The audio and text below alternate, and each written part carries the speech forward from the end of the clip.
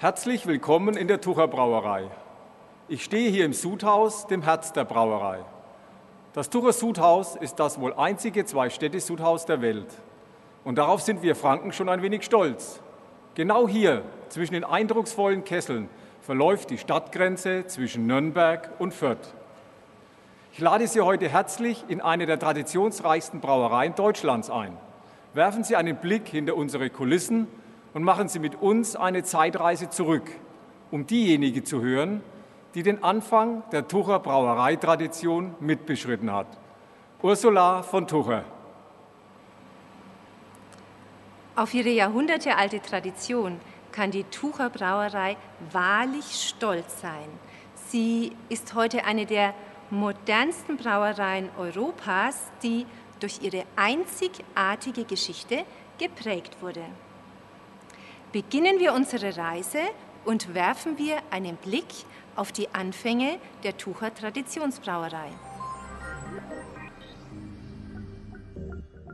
Die Wurzeln der Tucher Brauerei gehen auf das Jahr 1672 zurück. Der Rat der Stadt Nürnberg errichtet ein eigenes Brauhaus ein für die damalige Zeit neues und ganz besonderes Bier kommt aus seinen Sudkesseln, das Weizenbier. Daher erhält das Brauhaus den Namen Städtisches, 1806 sogar Königliches Weizenbrauhaus. 50 Jahre später erwirbt die Familie von Tucher die nunmehr Freiherrlich von Tuchersche Brauerei. Der Bierabsatz steigt rasant und die Brauerei wird 1898 in eine Aktiengesellschaft umgewandelt. Durch Zukäufe weiterer Brauereien entwickelt sie sich zu einer der bedeutendsten Exportbierbrauereien Bayerns. Das Haus übersteht zwei Weltkriege mit schweren Zerstörungen und wird originalgetreu wieder aufgebaut. Heute ist die Tucher Brauerei eine eigenständige Tochter der Radeberger Gruppe, der größten Privatbrauereigruppe Deutschlands mit einer neuen hochmodernen Braustätte, einem eigenen Logistikzentrum und vor allem engagierten Mitarbeiterinnen und Mitarbeitern. Eine ganz wesentliche Rolle in der Geschichte des Bierbrauens spielt das Reinheitsgebot für Bier aus dem Jahre 1516. Die Geschichte des Nürnberger Bieres beginnt im Jahre 1304. Bier ist seinerzeit jedoch nicht der schaumgekrönte reine Genuss, den wir heute schätzen. Damals kommen wahrlich sagenhafte Zutaten wie Kräuter, Ruß oder sogar Fliegenpilz mit in die Sudkessel. Erst mit dem Erlass des Reinheitsgebotes durch Wilhelm IV. von Bayern am 23. April 1516 wird ein neues Zeitalter eingeläutet. Es ist eine der ältesten lebensmittelrechtlichen und landesweit gültigen Regelungen überhaupt. Dieses Gebot steht für die besondere Reinheit des deutschen Bieres. Nur Gerste, Hopfen und Wasser dürfen für die Herstellung verwendet werden. Hefe ist zur damaligen Zeit noch unbekannt. Die Tucher Brauerei braut heute wie damals nach dem Reinheitsgebot für Bier. Aus besten Rohstoffen und nach traditionellen Rezepturen. Werfen Sie doch einmal einen Blick auf den großen Malzturm auf unserem Gelände. Hierbei handelt es sich um das größte Reinheitsgebot der Welt. Was genau macht denn den hervorragenden Geschmack und die hohe Qualität der Tucherbiere aus? Ja, ein Bier ist immer nur so gut wie die Zutaten, aus denen es gebraut wird. Und im Tucher steckt nur Gutes. Einer der wichtigsten Rohstoffe ist das Wasser. Aus den eigenen Brunnen im Rednitzgrund schöpft Tucher das frische, kristallklare Element. Es ist von ausgezeichneter Qualität und Garant für den herausragenden Geschmack. Durch eine eigene Pipeline wird das Wasser aus den Tucherbrunnen in die Brauerei befördert. Das Malz gilt als Seele des Bieres. Es verleiht ihm sein Aroma und seine Optik. Bei Tucher wird Malz aus kräftiger Sommergerste und aus feinstem Weizen gewonnen. Der Hopfen ist die Würze des Bieres und sorgt für eine fein herbe Note. Tucher verarbeitet ausschließlich besten Hopfen aus der Hallertau, dem größten Hopfenanbaugebiet der Welt. Durch die Zugabe von Hefe wird die Bierwürze vergoren. Das heißt, der Malzzucker wird abgebaut. Es entstehen dabei Kohlensäure und Alkohol. Bei Tucher stammen die verschiedenen Hefestämme aus eigener Reinzucht. Die Mitarbeiter der Tucher Qualitätssicherung garantieren dafür, dass wirklich nur beste Rohstoffe in die Sudkessel gelangen. Die neue Tucher Braustätte ist ja eine der modernsten Europas. Was macht sie so besonders? Auf unsere jahrhundertealte Tradition sind wir bei Tucher mit Recht sehr stolz. Doch Tradition und Innovation gehen bei uns Hand in Hand. Mit einem Investitionsvolumen von mehr als 50 Millionen Euro und in nur zwölf Monaten Bauzeit ist die neue Tucher Brauerei entstanden.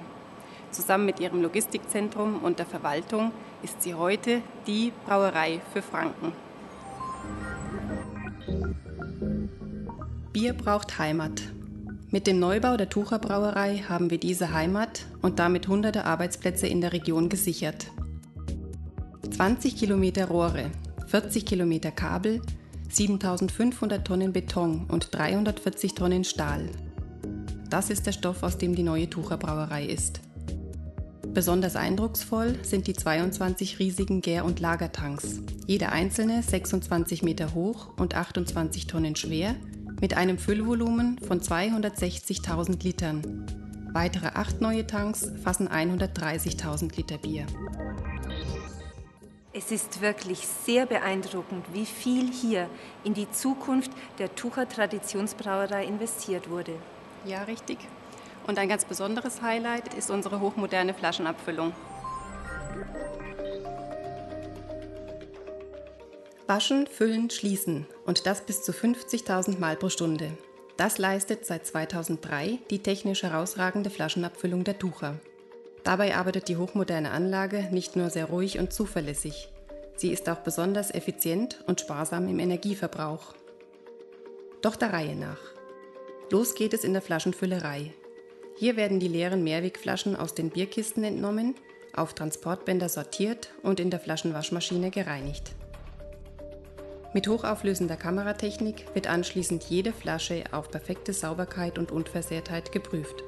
Erst wenn alle Kontrollen durchlaufen und bestanden sind, kann frisch gebrautes Tucher in die Flaschen abgefüllt werden. Bis zu 850 Flaschen pro Minute werden im Flaschenfüller mit den Bieren und Bierspezialitäten der Tucher Brauerei befüllt und mit Kronkorken verschlossen. Das ist Präzisionsarbeit im Rekordtempo. Anschließend wird jede Flasche erneut auf ihren Inhalt kontrolliert. Nur exakt befüllte Flaschen verlassen die Abfüllung. Jetzt fehlt nur noch eines, das Tucher Etikett, Zuverlässig sorgt die Etikettiermaschine dafür, dass jedes exakt an den richtigen Platz kommt. Nach einer letzten Kontrolle stellen moderne Hochleistungspacker die frisch befüllten Flaschen in die gereinigten Kisten. Rund 2500 Kisten werden pro Stunde durch die B-Palettierung gepackt und gestapelt. Dann geht das Tucher zur Freude vieler Bierliebhaber ab in den Handel und in die Gastronomie. Das ist faszinierend und wie ich höre, legt Tucher bei all der modernen Technik größten Wert auf Nachhaltigkeit und Umweltschonung. Ja, das ist richtig.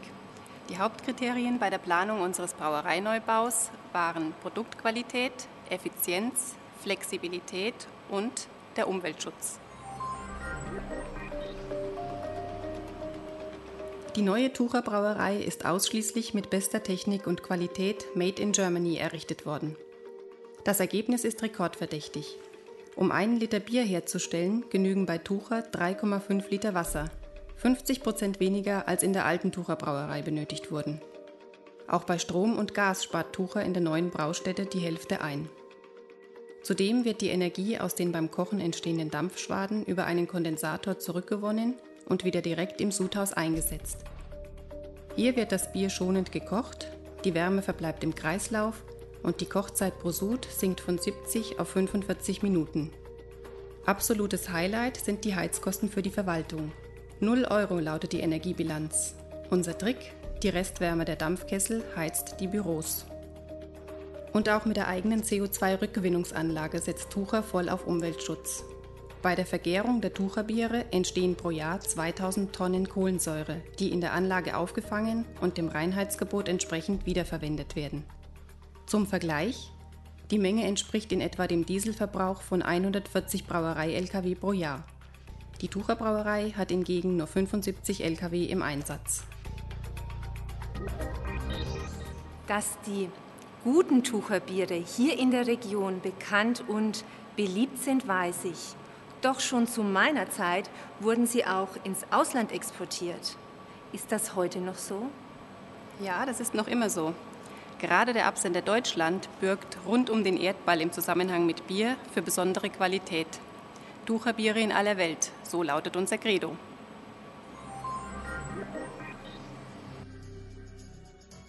Die Familie von Tucher machte die Traditionsbrauerei zu einer der bedeutendsten Exportbierbrauereien Bayerns.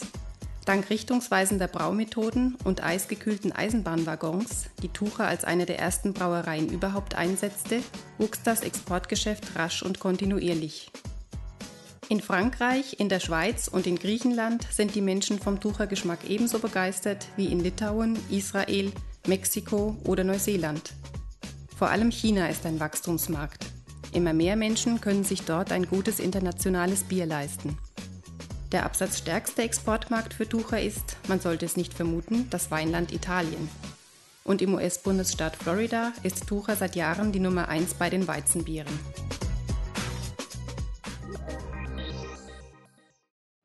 Hat Ihnen unsere kleine Reise durch die Geschichte des Bieres und der Tucher Brauerei gefallen?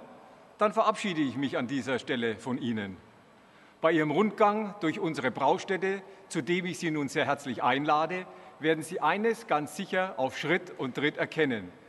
Bei Tucher gehen traditionelles Handwerk und innovative Technik Hand in Hand. Genießen Sie also Ihren Weg durch die Tucher Brauerei und genießen Sie auch unsere mit Leidenschaft gebrauten Biere in unserem Schalander zum Abschluss Ihres Rundgangs, in den vielen schönen Gastronomien Frankens und natürlich auch daheim. Ob frisch gezapft vom Fass aus der Flasche oder aus dem selbstkühlenden Coolcake. Ein Tucher sollte es schon sein. Zum Wohl, Ihr Bernhard Wagemann.